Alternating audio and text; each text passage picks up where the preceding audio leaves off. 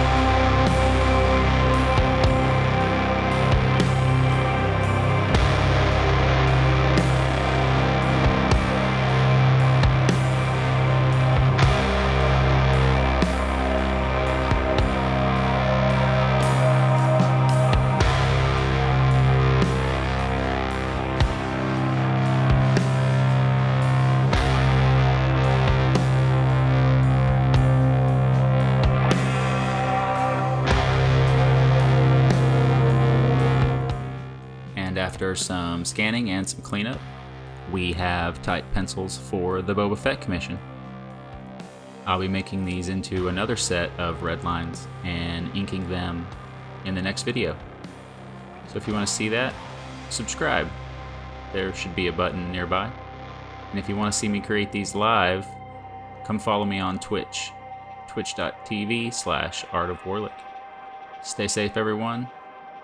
See you next time.